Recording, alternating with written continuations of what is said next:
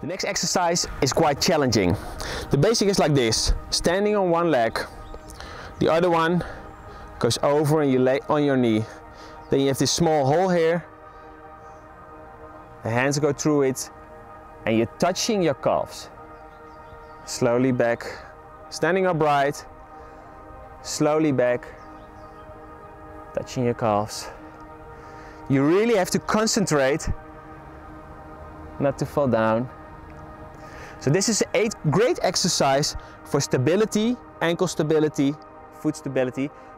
And then we add the glutes to it. So perfect for running.